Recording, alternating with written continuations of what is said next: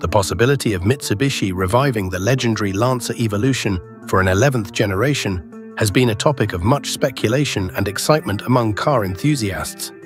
While Mitsubishi has not officially confirmed any plans for a new Evo, there are persistent rumors and hopes within the automotive community that the iconic sports sedan could make a comeback.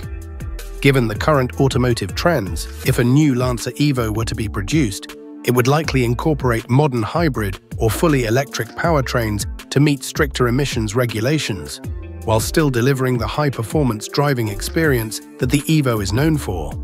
The potential for a hybrid or electric Lancer Evo aligns with Mitsubishi's focus on electrification and sustainability, as seen in their recent vehicle lineups. Design-wise, a new Evo would probably retain the aggressive, rally-inspired styling that has always been a hallmark of the model, possibly with advanced aerodynamics and a more futuristic look. Inside, the Evo could feature cutting-edge technology, driver assistance systems, and an interior that balances sportiness with modern comfort. While nothing is set in stone, the demand from fans and the evolving landscape of performance vehicles suggests that an 11th generation Mitsubishi Lancer Evo could be a reality in the near future.